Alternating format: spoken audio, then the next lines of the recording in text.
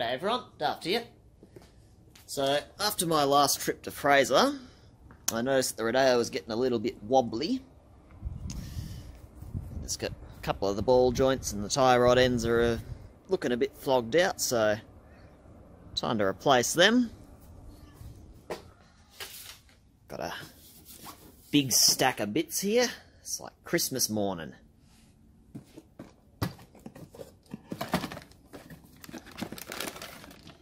Yeah, shiny. So you're going to go ahead and stick those in there and let's get cracking, eh?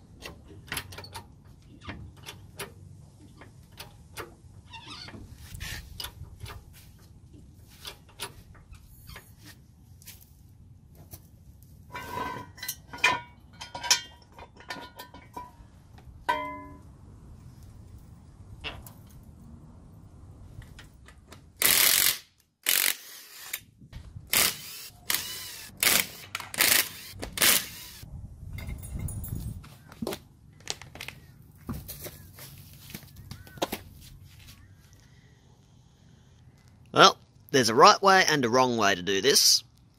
And the right way involves getting the right tools and spending a bunch of money.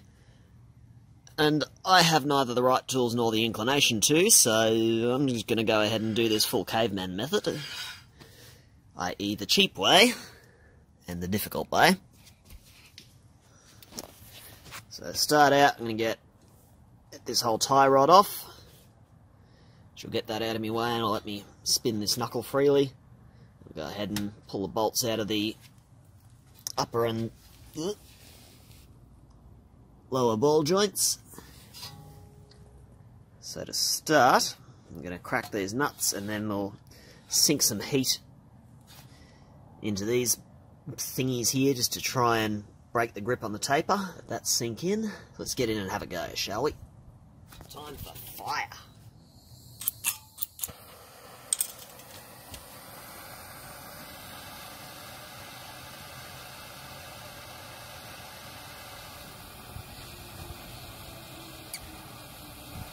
And of course the trick is to try and not set fire to any of your good boots.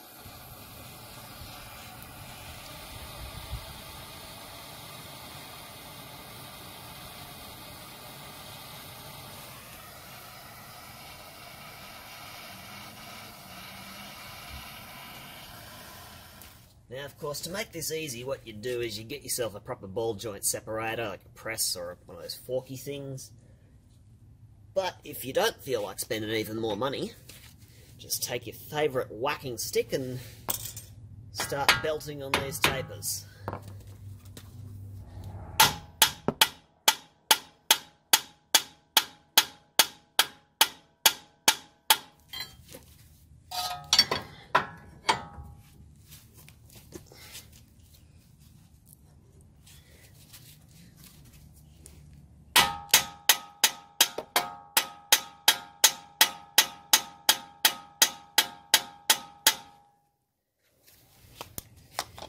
Easy. A little downwards pressure while you're whacking away and pops right free. On to the next one.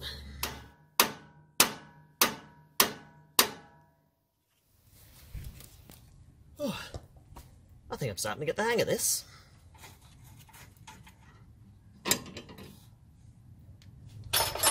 And before I forget, I'm going to put some witness marks on these threads so I know exactly how to line them back up. Obviously I'll have to go and get a wheel alignment done straight away after doing all this, but at least this way you get them pretty close so your tyres aren't all out like that or weird directions, so witness marks, they help. So now I'm just going to repeat the process, heat these two tapers and belt them free. I've just got the jack down underneath the control arm here just to take the weight of the suspension. Let's get to it.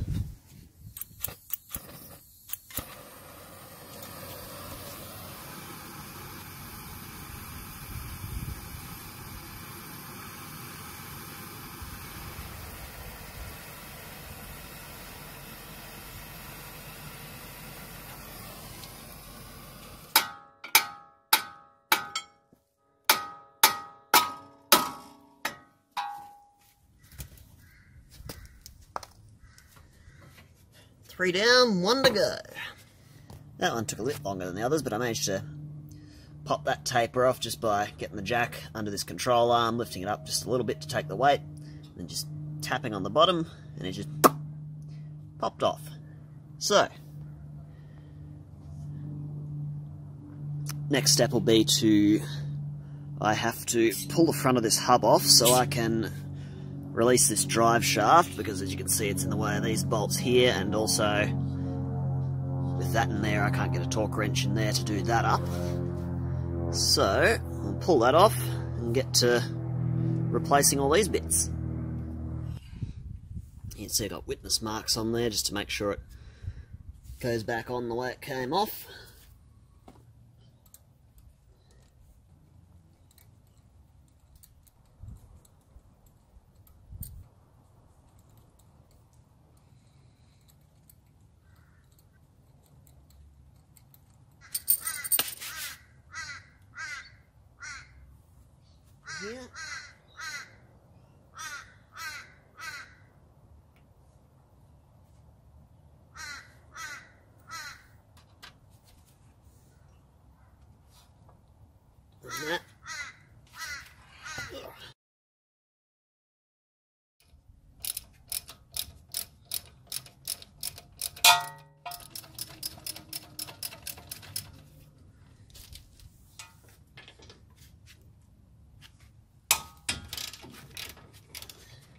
So what we're going to do now is I'm going to pop that top ball joint free, She'll give us some freedom to wiggle this about and get the other one done.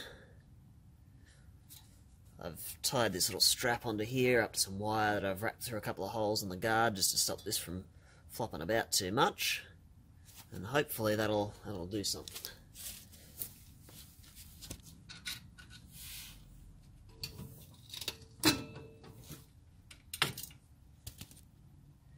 Thing I've found getting these bolts out is just gently work the suspension up and down until you find the point where they want to come out. That way you keep the threads all nice and straight and you don't have to worry about going and getting new bolts.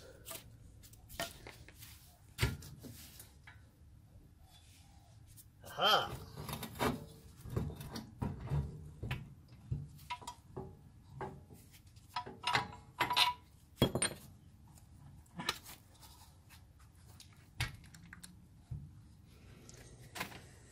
So I just like to go ahead and make sure that these threads are all still straight and that the nuts go on easy. So these four are all good. These ones are a little bit tight, but they should come good once I've hit them on the wire wheel, which we'll do now.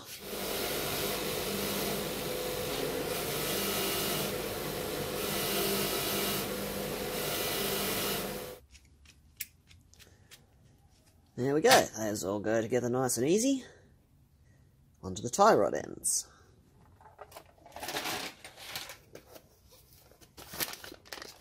Ooh, glue bag. Fancy.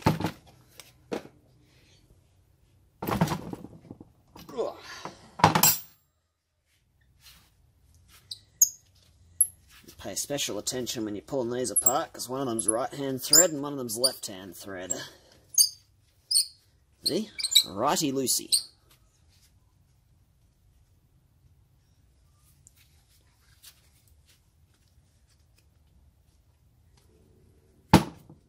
One down. I forgot to turn my camera back on, but this was on there real tight, so I had to should have a vice there to actually get enough purchase on it to wind it off. This is why I'm fond of my copper coat. It stops things like that from happening. So here's a hot tip for you. Don't just rely on your witness mark. Make sure you also take photos and count your threads. Which fortunately I did. Because this dude was stuck on there well proper good. So I had to really get in there with the wire brush and the heat and the, the inox to free it up and in the process I lost all my paint. But I know how many threads I have to go on, so it's quite a simple matter of putting it back together again.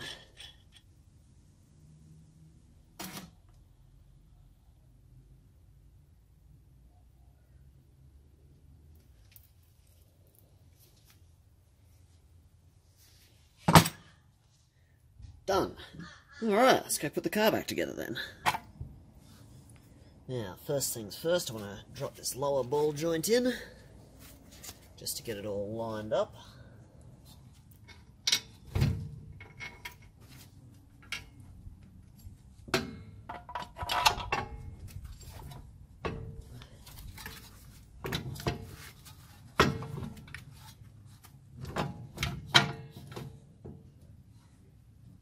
Beautiful.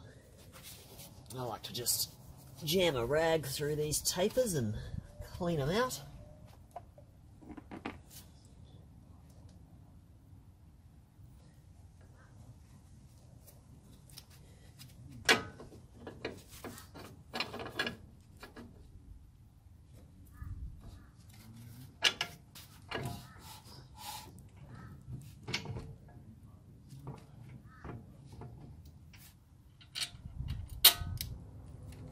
Now, let's see if I can actually get the wrench in there. There we go. So this is why I left all that bottom one all loose so I can actually get in here.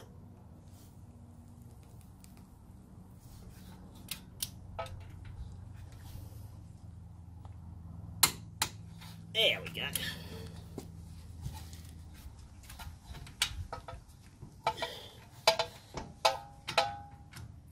Ah, there we go.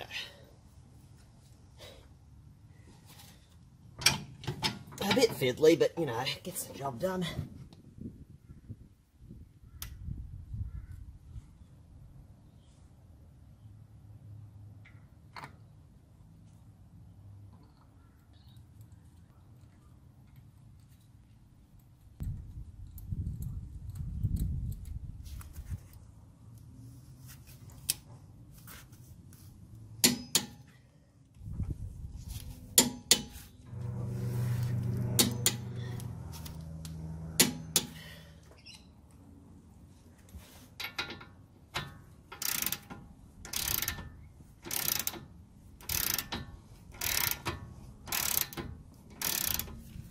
Torque time.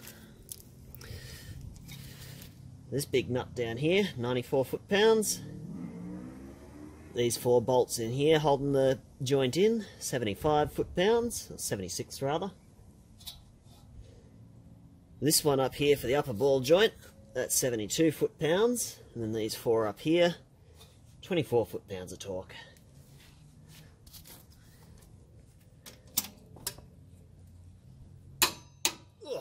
There we go. Another bit of good practice is to get a paint pen, put some witness marks on your bolt, nut and whatever, so that way you can easily tell at a glance if they're starting to work themselves out. Which is very important if you're going off-roading and driving on awful corrugations and stuff. Bolts do like to go walkabout sometimes. Alright, last piece of the puzzle, the tie rod ends. And indeed the tie rod itself.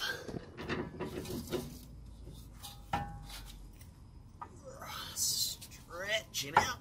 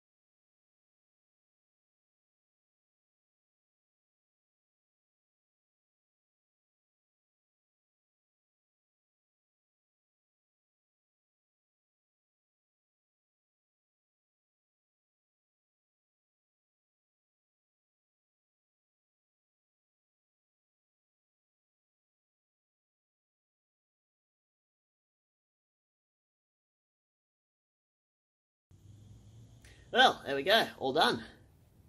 So that was relatively straightforward. Only took me two days. The um, doing the second side there was a lot faster than doing the first one, which I practiced on yesterday. But yeah, it's just some basic tools and a bit of perseverance. Not that hard of a job. That's the wallet more than anything else. But uh, I think it's time to go for a quick test drive before we send it off to have its wheels aligned. Let's go.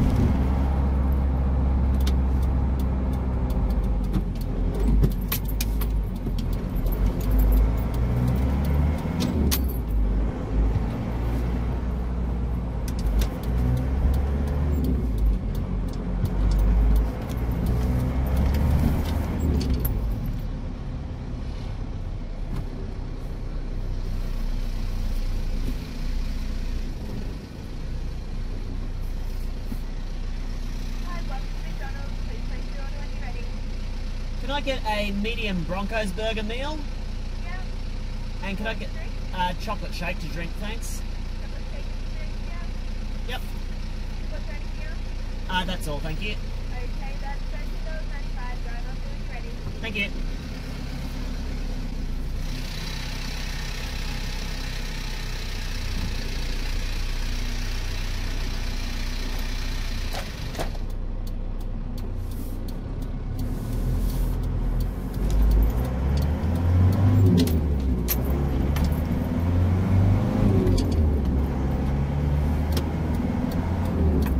Well, drive-through test.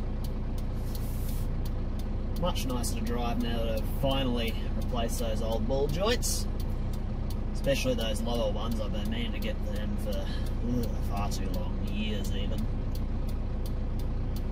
The upper ball joints are still holding in there, the boots are completely rooted so they weren't far off going bad. Tie rods on the passenger side, they were alright.